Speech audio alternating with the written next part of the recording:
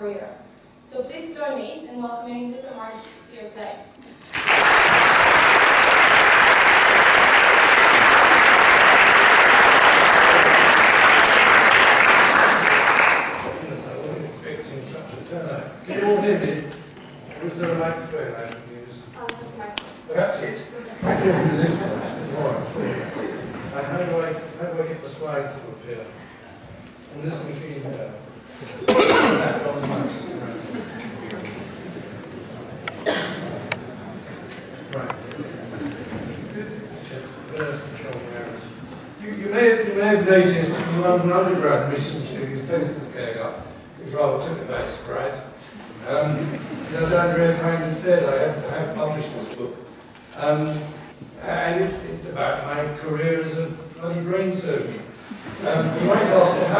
Why I write it? Well, obviously, we all like, we want to draw attention to ourselves, and I was the oldest of a very articulate literary family, and I was always trying to draw attention to myself.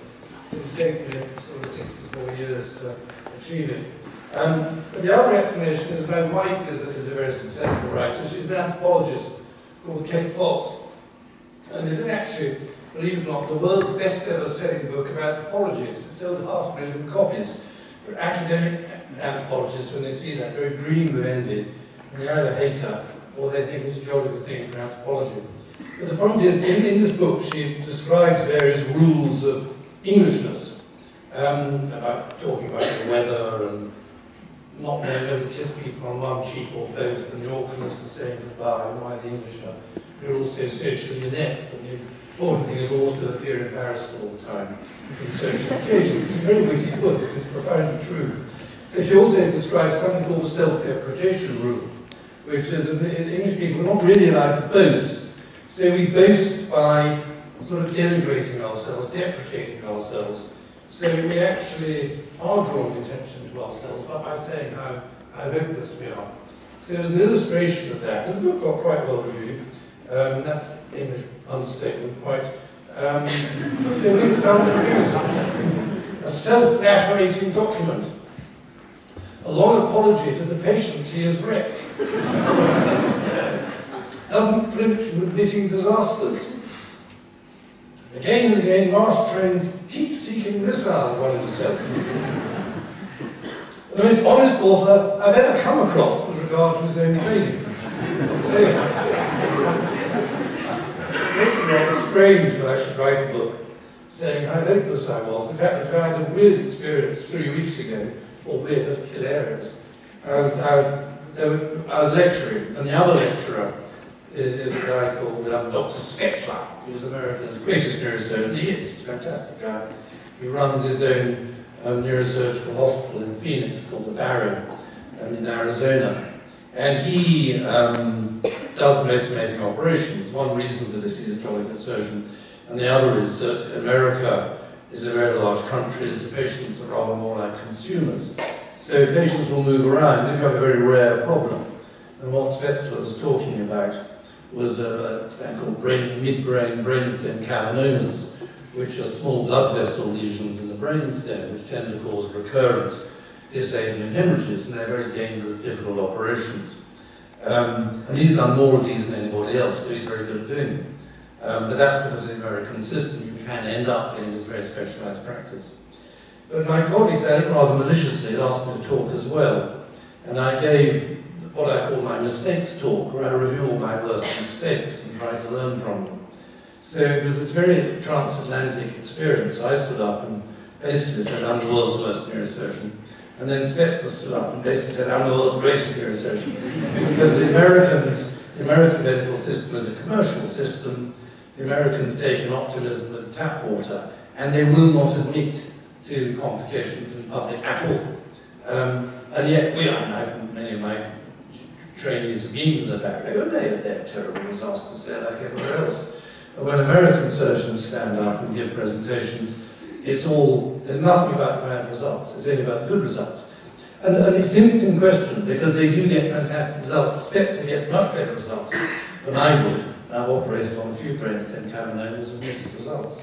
But nobody in this country will ever get enough to do to really become very expert. But there's always a price to be paid. And if you think about it, looking at the results of a medical treatment for some very difficult, dangerous problem, if you only talk about the successes, it gives you no context in which to understand, is it really worth it? Um, and this is something I'll talk about later on in the talk. So, um, the book, what's the book about? Well, first of all, I wanted to convey to the public, um, well, I say surgery is a sport. And occasionally, um, if an operation's gone well, I'll say to the patient, I really enjoyed doing that. And they look shocked and sickened um, has been ghastly and actually a nightmare for them. And I say to them, but if you think about it, you know, the last thing you want is to be operated upon by a surgeon who doesn't enjoy doing it. And unfortunately, you might have heard me on the radio a few weeks ago, a couple of weeks ago, you know, for those of us, actually not myself, with bottom problems, some surgeons love operating on bottoms. I had, I had to do it for a year because I am old enough to have, to have to do general surgical training to get my FRCS. So I had to do a rectal clinic every year on Friday afternoon in Sidcup. And I didn't enjoy the experience, and nor did the patients. And um, probably, if you know, the results of my various procedures were less satisfactory as a result. So surgeons want to operate. Um, and, but the point is, what makes the operating exciting is your deep concern the patient should do well. If the patient does badly, if you damage the patient their, their wrecked afterwards, there's nothing, it's a disaster, you've failed. So the idea is I'll come on to you next, that surgeons are sort of psychopaths isn't really true. If, if the definition of a psychopath, and we'll talk about that later, according to the Bob Hare checklist, is, is basically lack empathy. You don't actually feel other people's feelings. And if you're like that as a surgeon, eh, then you've no interest in operating. Because the whole point is actually um, the patient has to be well at the end. So there's no contradiction in, in finding surgery exciting, liking shedding blood, liking to frighten yourself, doing scary things. And brain surgery, in many ways, is, is one of the most extreme forms of surgery. Say, it's not very difficult. It's incredibly dangerous. So there's no contradiction um, in saying that surgeons love operating and they're sort of bloodthirsty. And at the same time, they care for the patients but it comes at an enormously high price because things will go wrong. What I've always been interested in is how both I and my colleagues and the people who train me, how we react to it when it goes badly. And so many of the criticisms of doctors and the, the medical system is all to do with this problem of, of how, to, how to deal with things when things don't go according to plan the patient's not better and maybe even worse. And then the other part of the book is really reflecting on, on four decades of medical practice, exactly since 37 years. Because there have been enormous changes. The patients haven't changed, everything else has changed. Um, and I'll talk a little bit about that, because the, the medics among you here are setting out on, some of you are setting out on medical careers. And um, there have been changes in neurosurgery, which I'll discuss briefly. Um, I've changed, I've become older, and become inevitably you become, you, you, you're very influenced by what you see as a doctor, and your own health and that of your family as you age.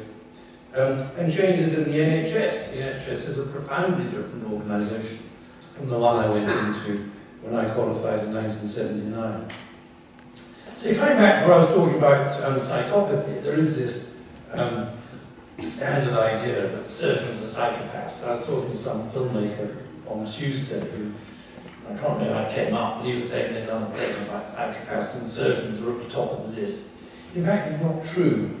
Bob Hare's a Canadian psychiatrist, psychologist, um, who read that wonderful book, The Psychopath Test, by, by Jon Ronson, well worth reading, very good book. And he mentions all this.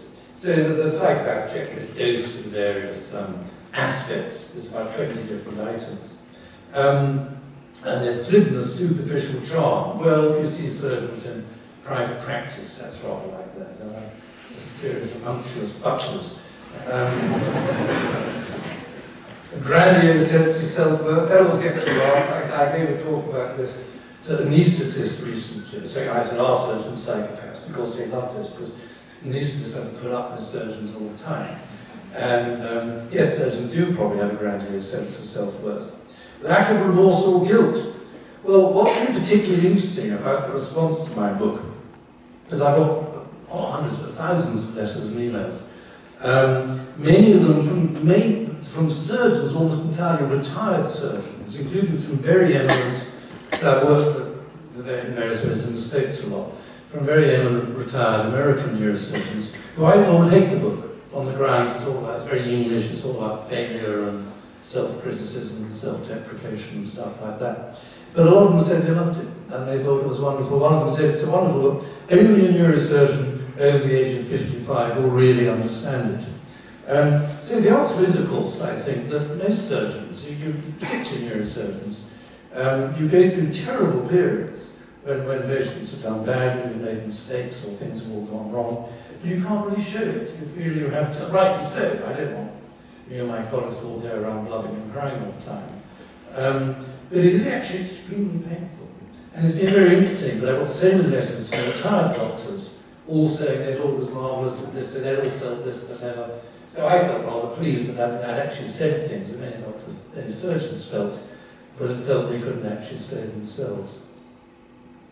Um, emotionally shallow.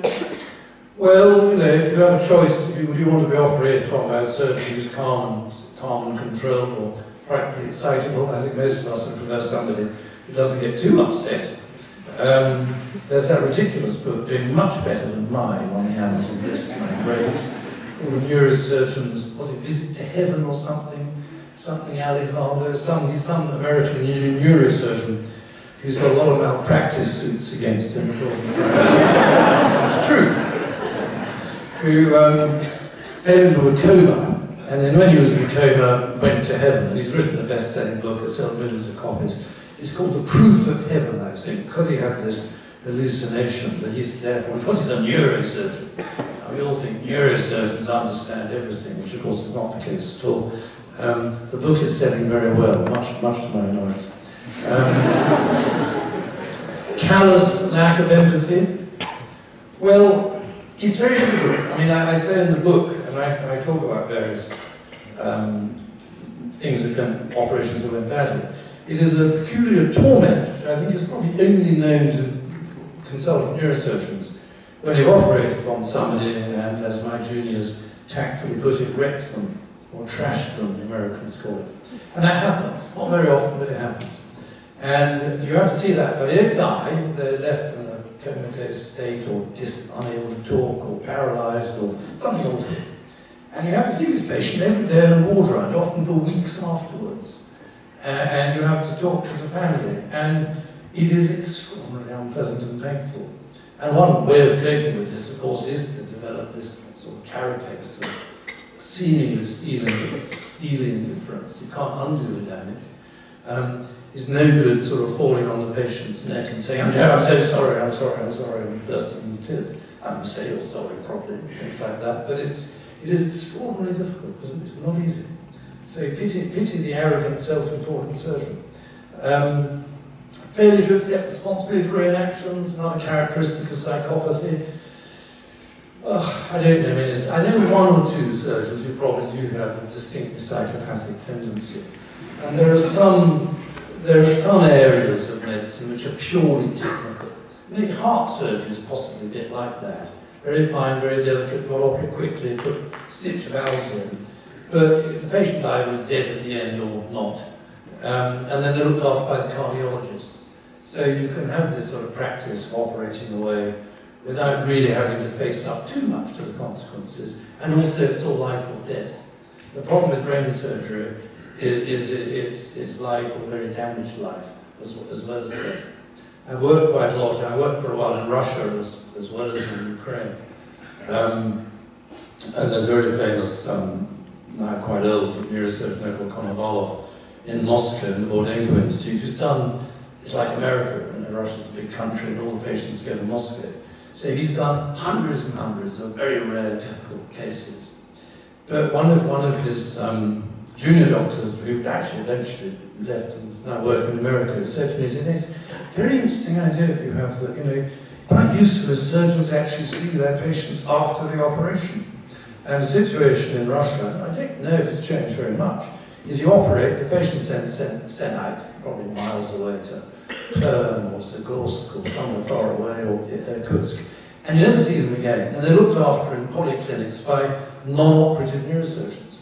And that's wonderful, you operate, you never have to see the patient afterwards, you don't have to face up to the reality of, of what you've done at all. It seems very strange to a neurosurgeon.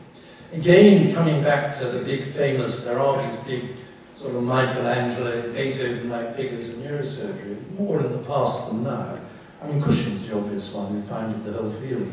Um, and if you develop this big, famous international practice, you get patients all over the world, and you don't see them again. And you don't see the bad results again. And it's the same problem in this country. Um, the patients who do badly don't come back to the outpatient clinic and tend to sort of disappear. So all, all um, surgeons, when they go to meetings and hear these famous people giving talks about all their best results, they'll say, oh yes, I remember one of, his patients I had to look after, everything gone terribly wrong. And in fact, um, the American guy Spetzler, um, one of the patients he talked about, and I think he's a much better surgeon than I am, without a doubt, um, it's all about context. One one of the patients was an English journalist, with, I, I, not my patient, who went to Barrow to be operated upon because I think whoever, see, whoever had seen in England deemed the, the mid-brain cavernoma to be inoperable. And the patient did very well, a picture of patient and Spetzler arm in arm together after the op and went back to England. Wrote a book about it, and then had another hemorrhage, because actually Spetzler hadn't actually removed all the cavernoma after all. But as far as I know, Spetzler doesn't know this, and in, his lecture he quotes this as one of his great successes. It shows, in a way, that the more you get into an ivory tower, the more famous and successful you become. It's, it's like in Margaret Thatcher lost touch of reality, or Napoleon or Hitler. It's the same with surgeons. You become frightfully successful. You tend to be surrounded by yes men um, and yes patients. And you often can lose track of actually what you're, what you're achieving. It's a constant challenge to be, to be honest and, and transparent. So the problem I'm talking about in some ways is the problem of compassion versus detachment. And you could say that in medicine, obviously, the only ethic is we should only treat patients as we wish to be treated ourselves or members of our family to be treated. But on the other hand, it is almost impossible to actually treat members of your own family because you're just too anxious. Um, I, I, once operated upon one of my daughter's um, godmother, godmother, who had a malignant brain tumor. It was a very, very simple biopsy operation. Um, just doing a stereotactic frame by number it doesn't involve any manipulation or still. But even that I found almost impossible because I was so anxious, because I was so, um, so I identified with the patient. And it's similarly, as, as you move up the, through the medical hierarchy, um, you start operating on the trunks and down and outs, and then you get slowly promoted up and eventually get promoted into the short middle classes private practice. And the final act is you end up operating on fellow doctors. And that's the same all over the world. That may sound shocking and cynical, but that's human society. We have hierarchical, released post-neolithic, post-neolithic revolution. Human beings are very hierarchical. And, um, you know, if, if um, David Cameron was admitted my department for a simple operation, I would do it. I wouldn't leave it to the junior doctor who would normally do it. Um, so, you, you, you, um, you can't, it's very difficult to operate upon people if you feel very attached to them. And yet, patients want you to be attached, they want us to be attached to them, they want us to care for them.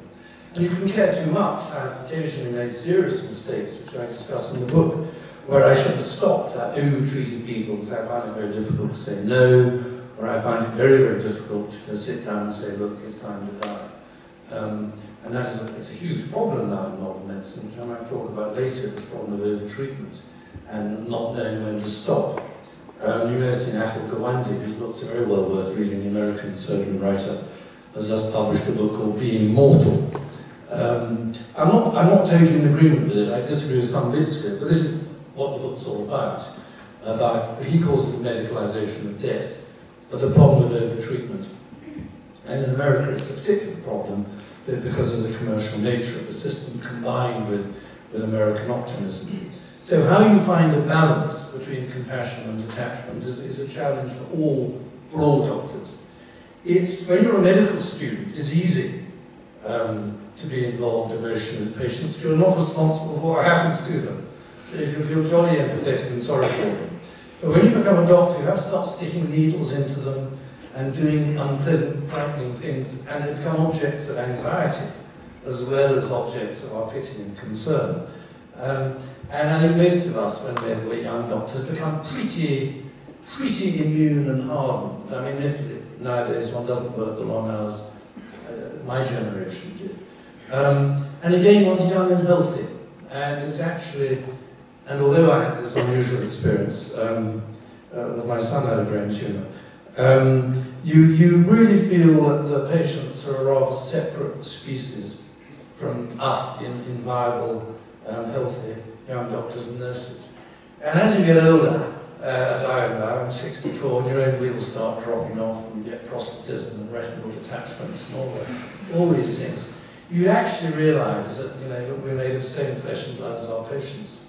But also, because I am very senior and eminent and experienced, I'm less defensive. You know, I'm more secure about my opinion about what needs to be done. If I don't know what to do, I'll send them off to see somebody else. I know somebody else can better than I can.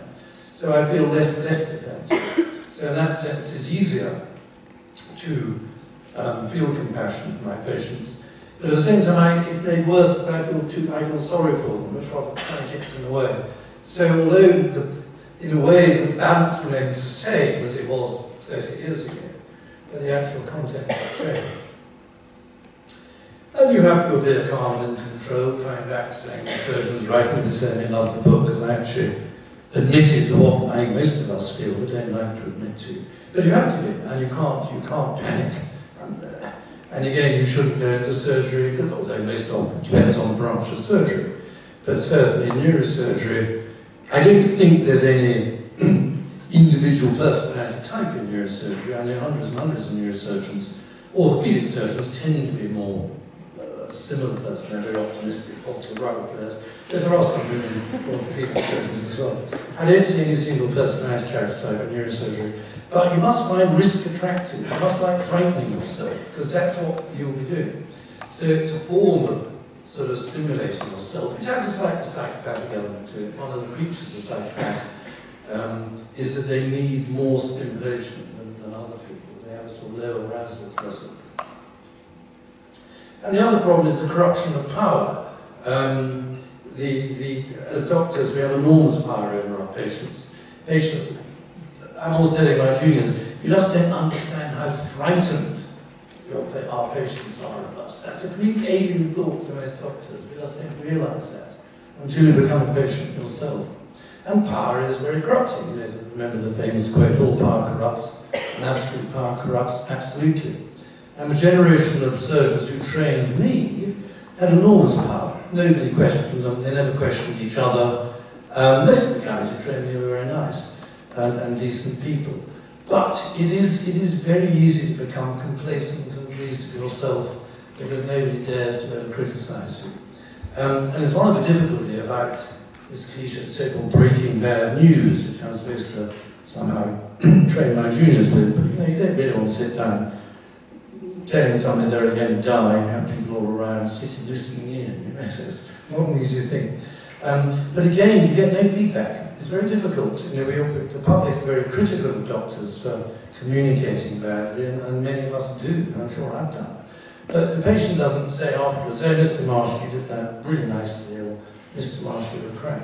So a lot of the time, you're, you're sort of fumbling, trying to learn how to communicate, how to talk. I'm told medical students now do get quite a lot of teaching about this.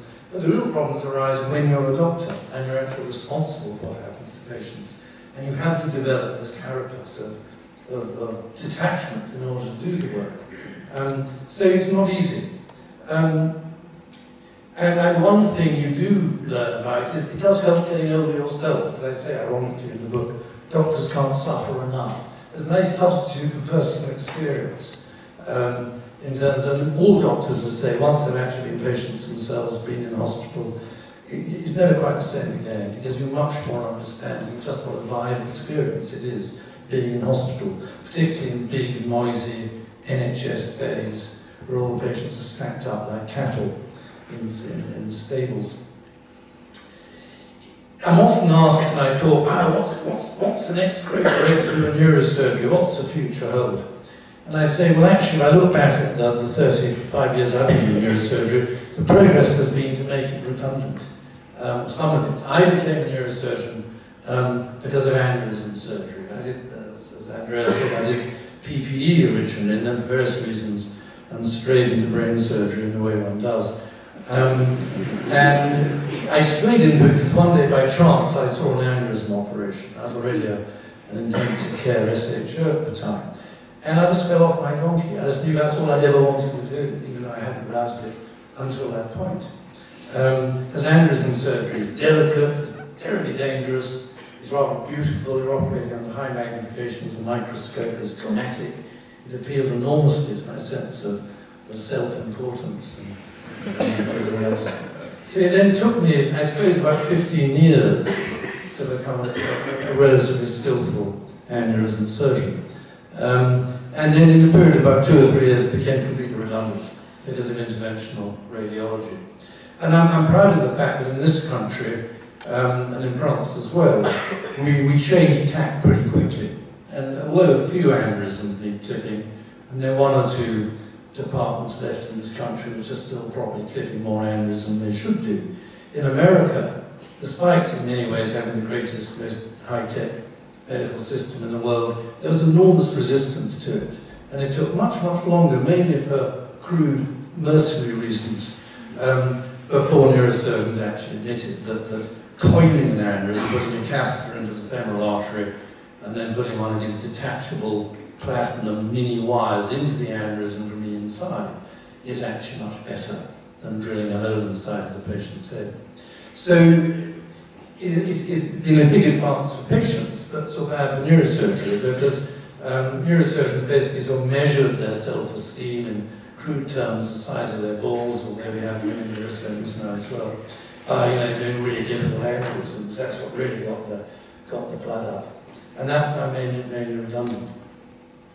So radio, and the other thing is, is what's called radiosurgery. Radiosurgery is high, um, high intensity radiation, highly focused. It's destructive radiation. It's like surgery, but without it actually destroys what's targeted. It's like, as you, probably know, it's like if you imagine lots of spotlights at night all intersecting. The night sky around the target is only dimly lit, but where all the beams of light coincide, it's very bright.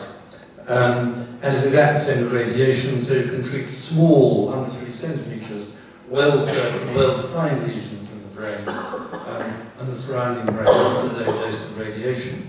And what that means is some of the very difficult tumor operations, which I now mainly do, in the past we felt obliged to remove all the tumor.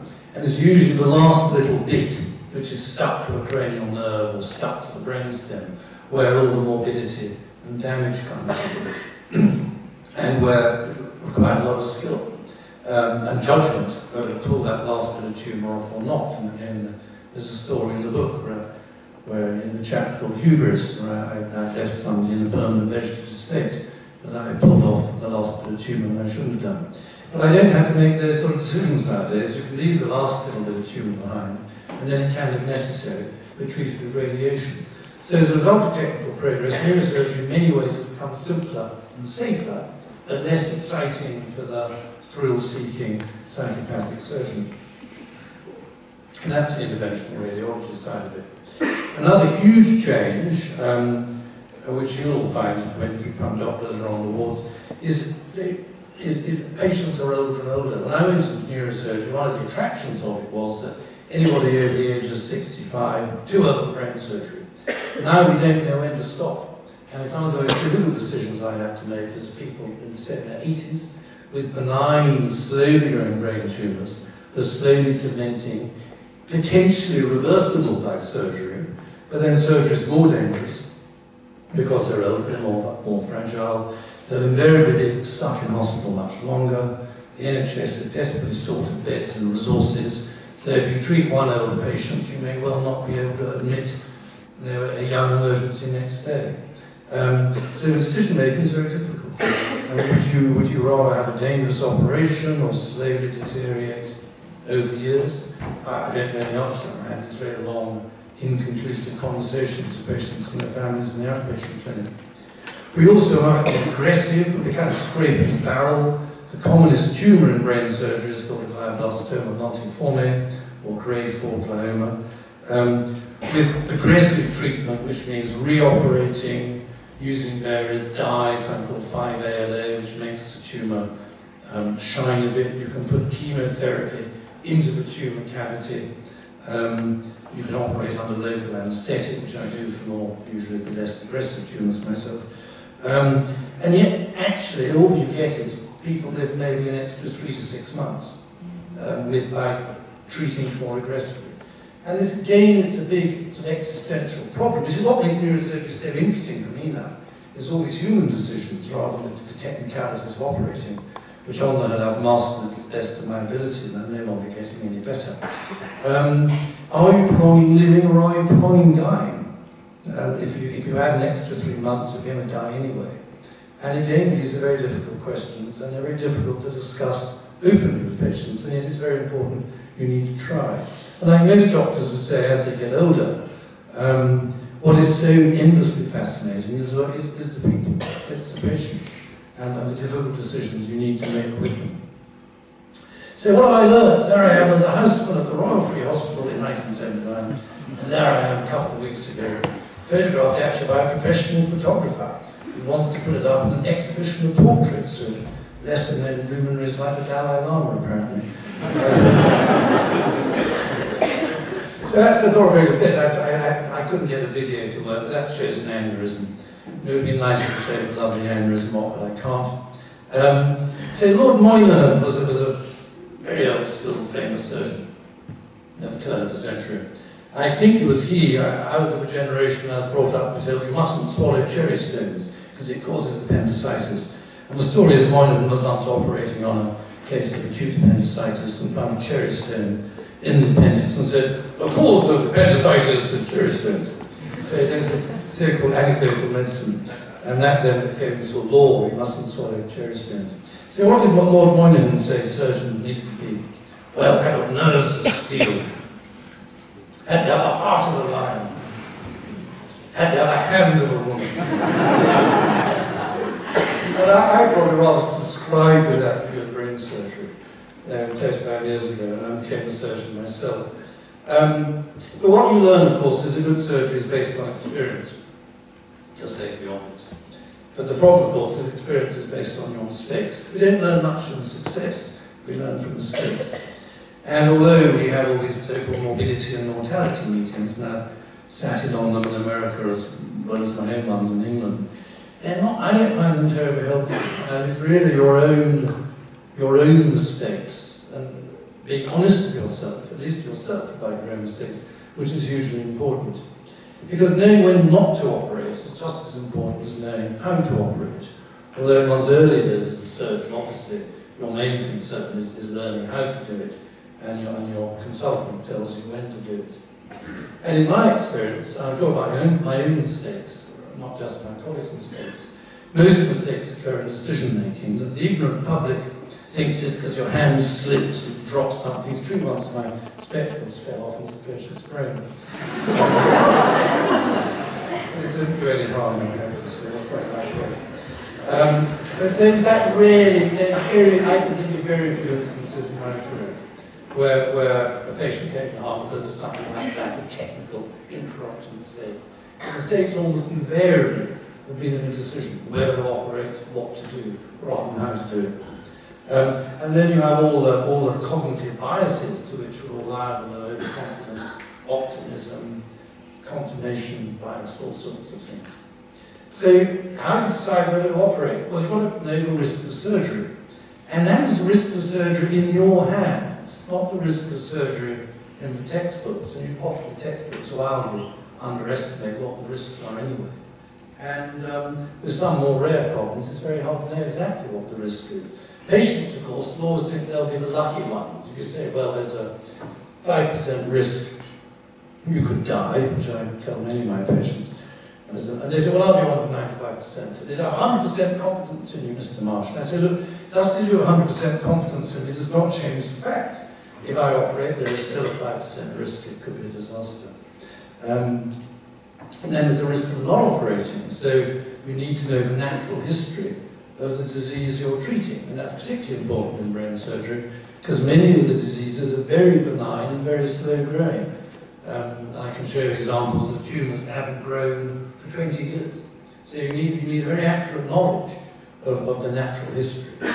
And then the other problem where I've been caught out on several occasions is, is not recognizing serious complications when an operation's gone wrong. One has these emotional blinkers, you just can't accept that something you thought would be fine. Uh, and it's particularly with rare infections, and I've missed several over the years. So I have this lecture I've given all over the place called My Worst Mistakes. That actually is, standard practice for medical, surgical lectures now. You start the lecture with a glossy picture of your wonderful big glittering hospital. So that actually is my hospital in the background. um, and then there's this wonderful quote by French surgeon, Leriche, who um, was a, a general vascular surgeon. He described Leriche's syndrome, which is claudication of the internal iliac arteries. Um, every surgeon carries within himself a small cemetery to which he must go from time to time to contemplate. It is a place full of bitterness and regret, a place where he must look for an explanation for his failures. And what I've learned over the years, um, influenced by some of the books I've read, and it's a profoundly important point, is that other people are better at seeing my mistakes than I am. Most of my worst mistakes if my, one of my colleagues had been about to make them, I'd have seen the mistake immediately, because I wouldn't have all the emotional cognitive biases, which distorts our own thinking when, when, when it's our responsibility. I've learned the importance of thinking slowly, not doing things in a hurry, and the importance of honesty, and the importance of good colleagues. Now, to me, these are much more important qualities for patient safety, for good surgical practice, and having the hands of a woman the heart of a lion and nerves of steel. And you all ought to read this book. Um, was saying he thought it was a business, sort of business book. It's not. Um, Kahneman's a psychologist, although he got the Nobel Prize in economics because he showed beyond doubt um, that human beings, that we are not rational computational agents, balancing utility, which is the homo economicus in economic theory, which I struggled with in Oxford many years ago. It's a wonderful book, all about the way we make consistent mistakes. And the analogy, I have on the slide here, the analogy would be with the Muller-Lyer optical illusion, where you have two straight lines of the same length. And if you add arrowheads on, one pair pointing outwards, one pointing inwards, we cannot see that those lines are the same length. It is completely hardwired into our brain. We see the arrowheads, it alters how we perceive length of the horizontal lines.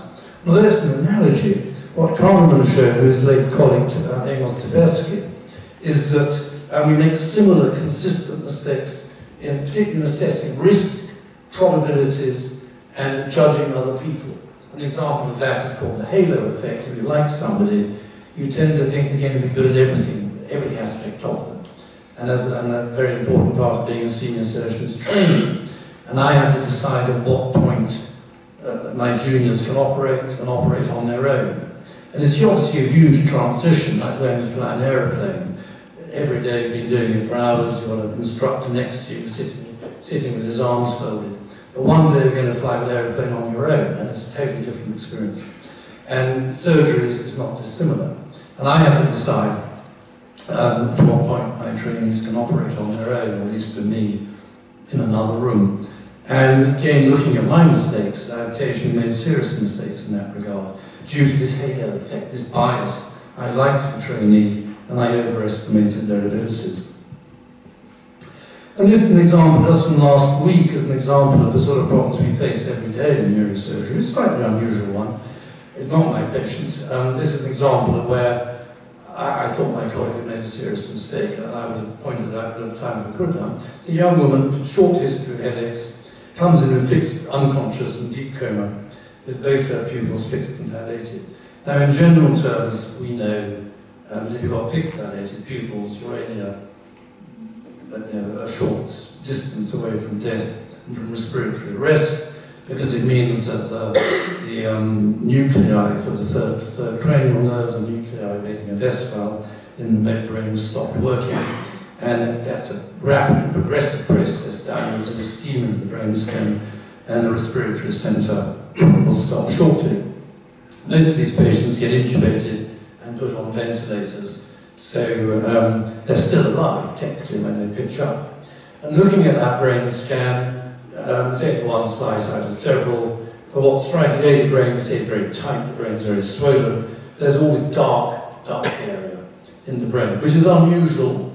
And looking at that, I was pretty certain, except it's rare, but I've seen similar cases, it's a terrible tumor called gliomatosis cerebri, where the whole brain is becoming expanded by a tumor. And some of these patients, although the tumour must have been growing for, for months, um, will then deteriorate and die very quickly. If any of you have seen that, that film with the English surgeon about me in Ukraine, there's an incredibly beautiful young girl who walks into the office with a brain scan like that, although she's still alive and well. And she died more slowly, she went blind from papilledema, and then died over a period of months. But this patient was about to die, but and my colleague said, well, we must operate because we don't have a diagnosis. I mean, it wasn't absolutely certain to be gliomatosis. And we don't, because we don't have a diagnosis, we don't know, she might make, we don't know she'll make a good recovery or not. We just don't know. On the other hand, he also admitted, we do know that the chances of a good recovery are very small. Um, in fact, vanishingly small. Um, and the question then is, how many bad outcomes are justified by one good outcome? And we face this problem with severe head injuries. We can't predict the prognosis very accurately. Um, and if, and we'd all say, well, if, if you have a thousand cases like this one I've just shown you, and if only one, if you treated them all, and only one person made a good recovery, but 999 did very badly and maybe died very slowly and horribly, most of us would say, oh, that's not a price worth paying. But the problem is where you draw the line? 999, 998, 150, 49? Very difficult. Anyway, so they operated, and we did what's called a decompressive craniectomy. So you can see the black, the black U shape is what's left of the skull, and the whole of the front, the whole of the front of the um, skull has been has been removed to allow the swollen brain to expand. So um, she became semi-conscious afterwards and the pupils started reacting. They did a biopsy, came back as gliomatosis, but the, the DWI, diffusion weighted scan afterwards, shows she suffered bilateral posterior cerebral artery infarction, which is a, one of the consequences of raised intracranial pressure, and the process called cerebral herniation. They then had to put the bone back on again, because otherwise if you, um, if you have a large brain tumour, and your skull's been removed, the tumour gradually grows out of the skull, and it's a terrible death. It takes a long time. So it's clearly a, pretty terrible mistake, actually. Um, uh, she's going to die. She's going to die slowly now, miserably, completely cortically blind um, because of a cerebral infarction. And I'm, I'm pretty sure um, my colleague won't make that mistake again. If he ever sees a case like that again, he probably will say, well, it's better to let it die. But that's something which only comes with time. It's very difficult as a junior consultant to make these ruthless decisions and then live with the consequences. And you have to have had terrible problems like this in the past to have the strength to make that decision. And of course, if you have colleagues who, and this, the trouble these cases often come in at night, if, if I, should come in in the morning, I would have tried very hard to persuade them not to operate. But again, it's an example of the way um, discussion, good colleagues, is incredibly important to state the obvious, but that's not the, the surgical model, which I was brought up on. It certainly wasn't the surgical model which Lord Moynihan was, was brought up on, where individual surgeons wear these godlike figures. But just to balance it, I make terrible mistakes too, and you won't really understand what that shows, but it was a woman I operated on for a benign condition called cerebellar ectopia, where the bottom of the brain is stuck in the, in the foramen magnum. The operation went incredibly well. She was home within two days. I was very pleased with myself. And the husband rang me up a week later to say she was a bit ill. Um, and because it was on my mobile phone, I was thinking about something else. I said, oh, don't worry. She'll probably get better. Take some pills and come and see me if she, just, if she gets worse. And then she got very worse. She came to see me. I got a scan. And because I just was not able to see clearly, in fact, uh, in front of the brain stem is, a black area, uh, which shouldn't be there. And she, in fact, had an incredibly rare infection. I've never seen it before or since, a streptococcus subdural empyema. That's pus around the brainstem. And because of my delay and the fact I couldn't, I didn't see, because I didn't see what was in front of me on the scan, partly because it was so rare, she, she was left terribly disabled, totally wrecked, and I told them to sue me, because I thought it was my mistake, and the settlement was in fact six million pounds, which is the cost of a lifetime nursing, well, 40% goes in legal expenses, quite, but um, that's the cost of a lifetime nursing care. So on the other hand now, of course, I've done hundreds, about 100 of these operations before that particular complication. Now when I do this operation, I'm always terrified afterwards. if have any problems afterwards, I'm terribly anxious Then I've got a, a, a, rare complication. So it's difficult again to find a balance. If you can't spend the whole time worrying on patients, you're going to get terribly rare problems and investigate everything just in case. So again, you have to strike a balance.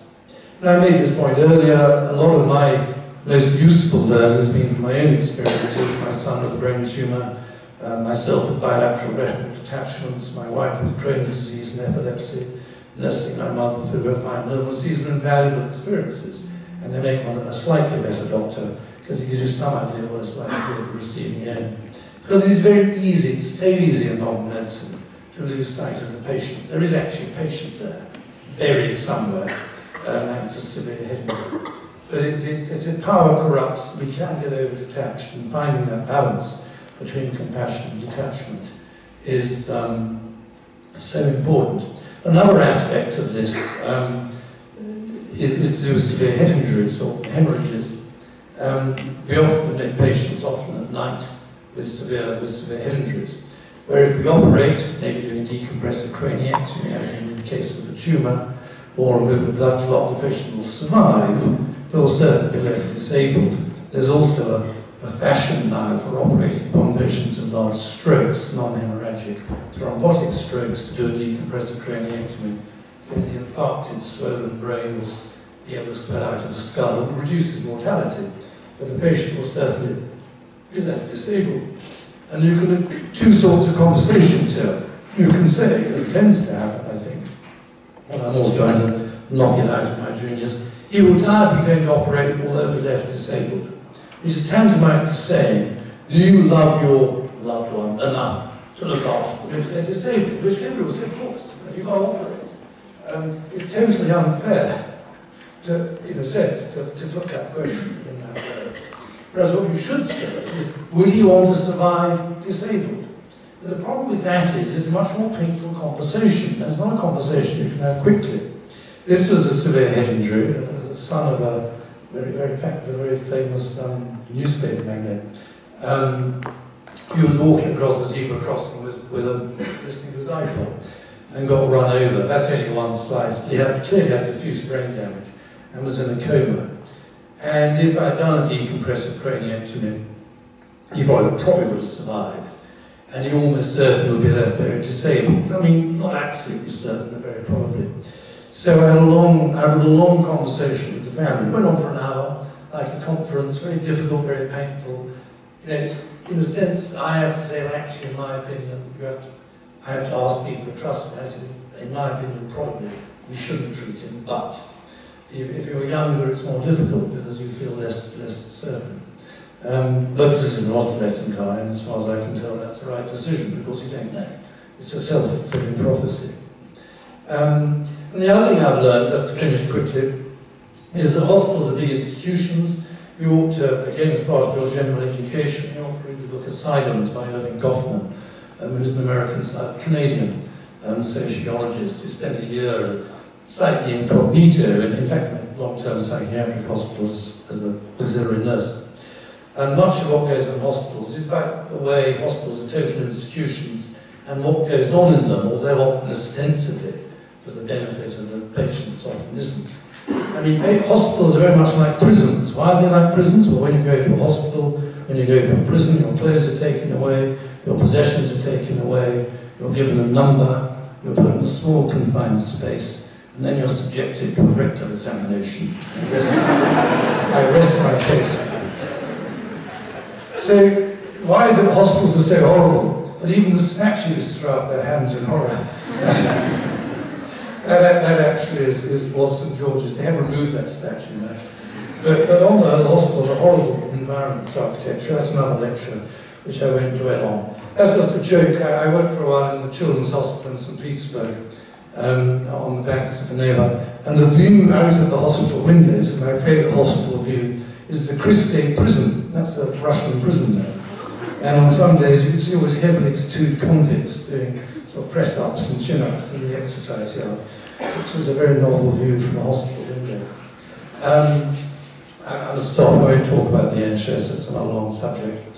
Um, worth pointing out that the problems with healthcare resources are not unique to this country. Admittedly, only goes up to 2008, but all over the modern world, healthcare costs are accelerating up and up and up for a variety of reasons. In America, it's particularly severe. So the problems with the NHS are not, not unique to the NHS. Um, my book was, was serialized in the Times. It's called Confessions of a Brain Surgeon. The book is not a confession because I'm uh, intensely proud of what I've done and of my work.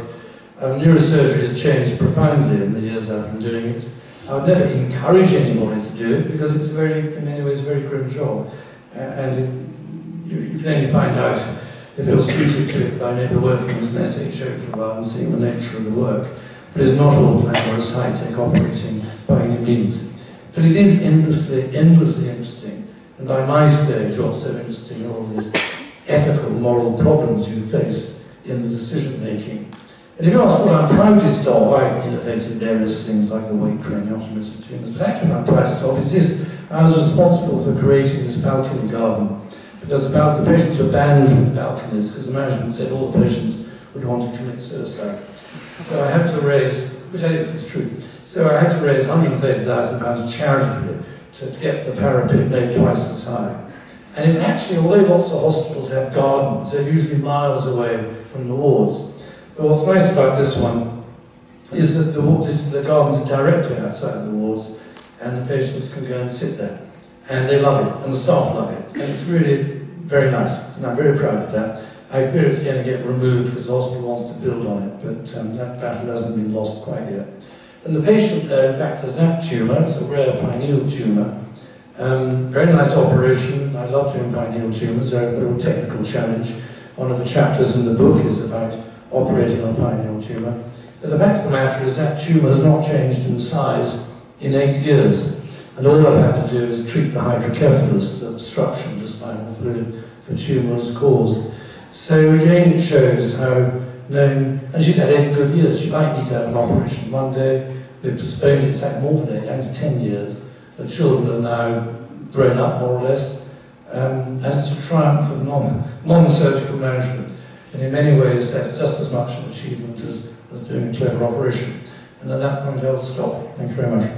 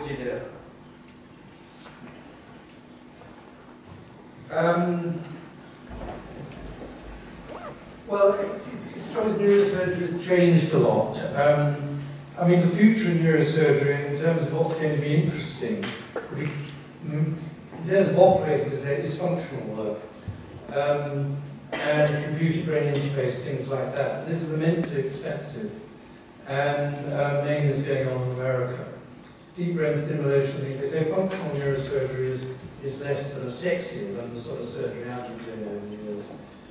But um, if I was starting over again, and I didn't know if I'd go into neurosurgery, I would try to make, I tried to work along those lines. In terms of regrets, well, the main regrets are all the patients I've wrecked over the years. Um, so in terms of the way my career has progressed, I've no regrets. I've been very lucky that I've worked a lot abroad. I've worked in America, um, Eastern Europe, elsewhere. And that, uh, that, that's very nice. One of the great benefits of being a doctor is if you want to combine travel, true, true travel of meeting locals and being useful, medicine's very good. It's very useful in that way. And that's been very fortunate. No, no, no big regrets. Next question? And just put your hand up. Yeah? Um, You talked, uh,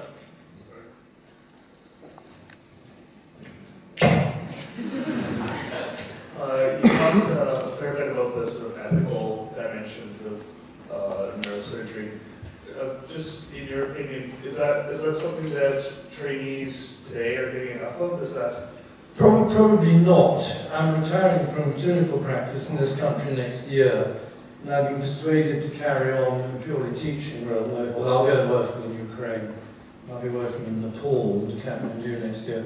Um, so I'm, I'm starting to sort of plan a, a sort of teaching program for my trainees at St George's, where we'll discuss particular cases, but trying to deal with, with these quite complicated ethical, ethical issues. Um, I, as far as I know, there's very little of that at a, at a graduate, at a postgraduate level.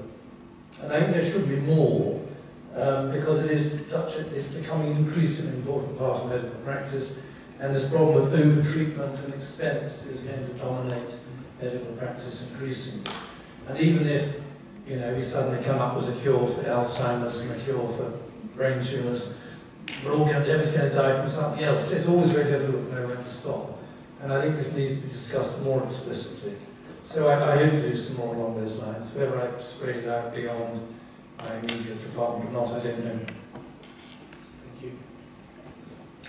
Any question?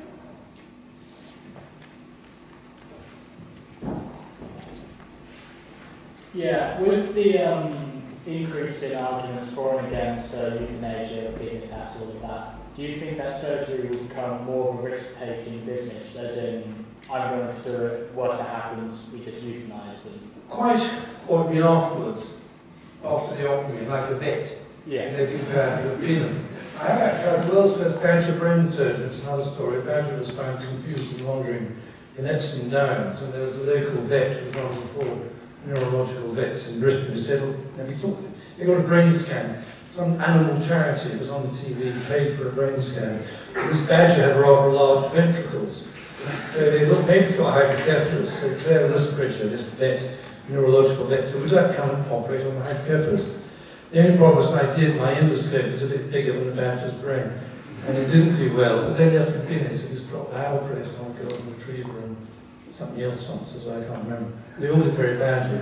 But the advantage of veterinary work is you can, although the owners are very upset, you can drop them in the bin afterwards. Um, is that what you're suggesting might happen with human surgery or not? All is that suggesting, like, what should happen with human surgery? Will operate and there's a good result, you just kill the patient afterwards? Yeah, with human surgery, just like you said, um, at what point should you just avoid surgery? Well, do you think if we have the option of euthanasia afterwards, Of direct euthanasia in this country, we don't. Um, the, I'm, I'm a strong believer in euthanasia in the form of so-called doctor-assisted suicide. Um, and there are various ways of doing it. I mean, in, in Holland, Belgium and Switzerland, Um, you've got to have an informed, you've got to have informed consent. You've got to have a, a, a compos mentis patient with mental capacity to, to say that's what they want done.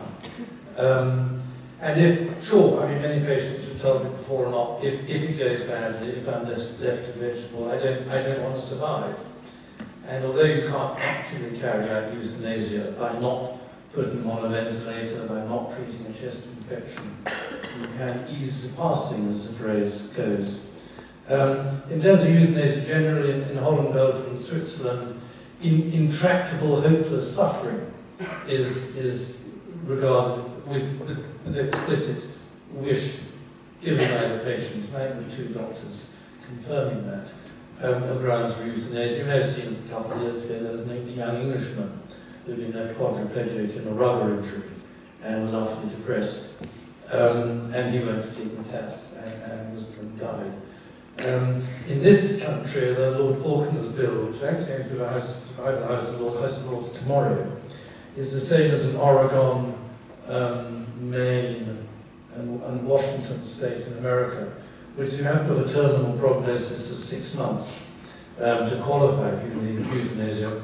And if you look at, look at the figures from these states, in fact, most people who sign up for it don't then actually take advantage of it.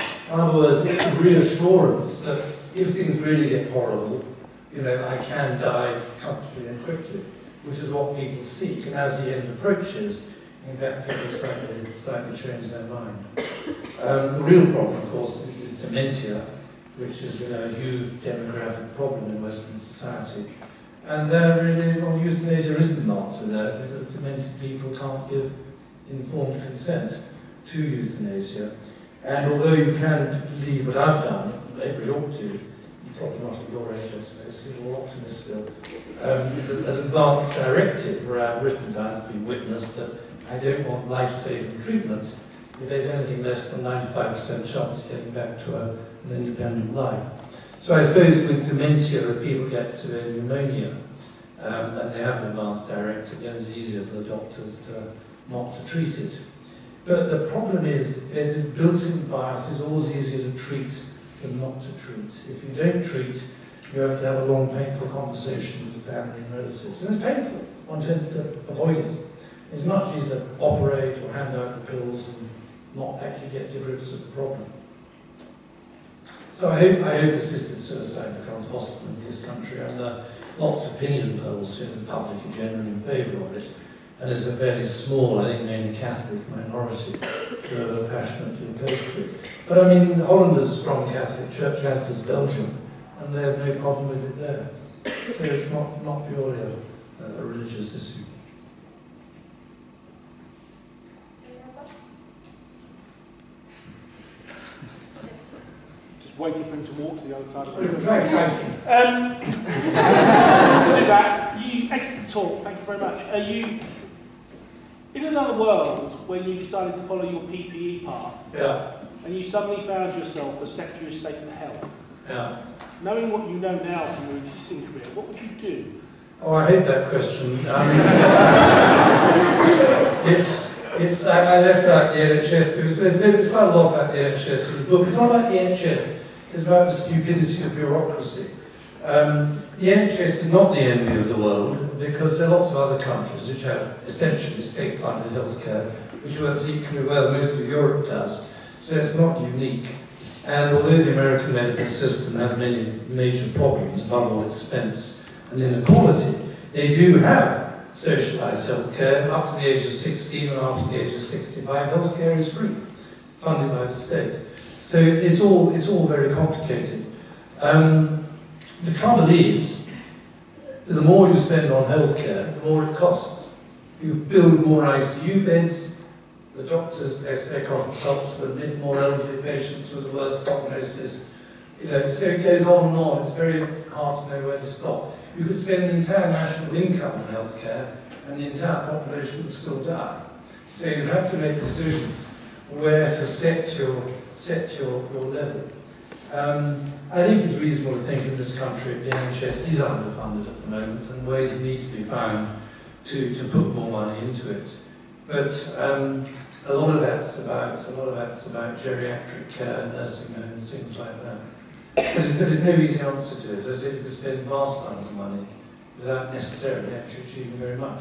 And it's generally said the main reason for increased life expectancy um, is, is public health and proper drains and things like that. It's not actually high-tech modern medicine. But I would, I mean, I personally would favour, I think, what's called a hypothecated tax, that people would actually pay a tax for the NHS, that they could see what was going to the NHS, and they might be more willing, therefore, to pay more tax. But the Treasury has always been passionately opposed to it, because they then worry, well, if they get an hypothecated tax for the NHS, people then want a tax for education or for the army and this, that and the other.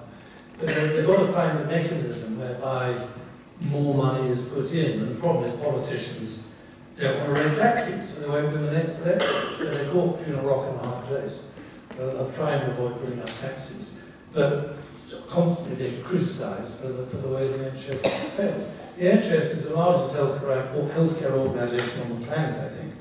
And you know, any one person has to have a problem. It's seen as a reflection on the NHS as a whole, which of course is silly. And that's to do with the very poor quality of tabloid newspapers yes, we need a, an aggressive investigatory press. I hate the press to be repressed in any way. But it's, you know, every time uh, there's some medical problem, the tabloid headline says it's a scandal, or there's a cure for cancer. Because what sells newspapers is bad news or miracle cures, and that's what the headlines say. And the politicians are driven by tabloid headlines. They always kind of chummed up with Rebekah Brooks and, and Rupert Murdoch and all that. So they're hugely influenced by the tabloid press for the worse. That's one of the problems the NHS has. Uh, we're going to be able to take the last few questions now. If there are any more. So, What uh, scientific advancements within the next century would affect neurosurgery the most? The, um, the commonest grotty problem in, in neurosurgery, malignant brain tumours, and they're rare compared to breast cancer, lung cancer, gut cancer.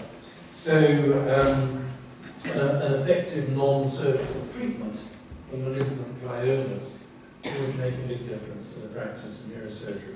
I don't see, as I said, progress in neurosurgery on the whole is to make neurosurgery redundant. Neurosurgery is very crude. Um, I mean, the ratio between my smallest, I haven't got the slide, but I've got a slide showing pinhead in front of a bulldozer scoop, which is roughly a slight exaggeration. The ratio between my smallest microsurgical sucker, which is two millimeters internal diameter, and, and an individual neuron, which is 40 microns. So it is by its very nature crude. Sure, all cells are small, but obviously the, the, the brain is, is information packed in. Um, so progress in neurosurgery is to make surgery unnecessary and crude. I don't see, I don't think you could actually, and people are using robots for prostate surgery, though nobody knows actually if it's making a big difference to outcomes um, for all sorts of reasons. Um, but operating at higher magnification, you can't get with hand, a tremor, you can't operate with wonderful operating microscopes. I, I love my operating microscope, but I couldn't operate at more than about 10, 10 12 times magnification. Whether a robot would really make a big difference, I rather doubt, because the difficult problem is how hard you pull. And although I think the newer robots have these so-called haptics, where you get some sort of feel in a, in a glove, at the moment it's not a very good substitute for, for one's own hand and brain. And so I, don't think robotics are going to mean you can do much more delicate operations. On the other hand, more um, miniaturized intravascular procedures may be possible. I was just reading on the net this morning about some new heart device where you feed this, feed this um, mechanical catheter to make a to do the Hoden heart operation through a blood vessel rather than actually opening the heart and chest down. So there may be some progress in that regard. Madam. Ladies first. I've gone long enough. Um, it's quite a generic question, Yeah. um, but I thought it was the last one. That'll be okay. Um, what's your advice to anyone going into the field of neurosurgery, neuroscience, um, or you going need, to be a doctor? you need to do a, you need to get a six-month job. I think there's still SHO jobs, and then in neurosurgery, you need to go and do it for a few months to get a feel of what it's like. Because although a lot of it's exciting and dramatic, a lot of it's about dealing with people with brain damage, head injuries, tumours, things like that, perhaps it's actually quite depressing. So you have to find the, the surgery, the diagnosis, very exciting and involving to compensate for the downside. And that you can only, that you can only find by doing it for a while, if it suits you. And mean, I rather lost track of all this run through training and everything nowadays, but when I was, when I was going through it, you had to do four years of, of general surgery, A&E, things like that before you specialised. So you moved around, did lots of different jobs, and you could actually find what really, what really suited you. I think it's a bit more difficult now, and then you have this national selection, and you see if you have a steady hand or something. And you talk to actors pretending to be patients. OSCEs, whatever they're called. No, I think you need, you need to, um, is it, the, um, you need, you need to go and do a, do a junior job to see what it's like, for more than a few weeks. Is that it? May I run away? Thank you.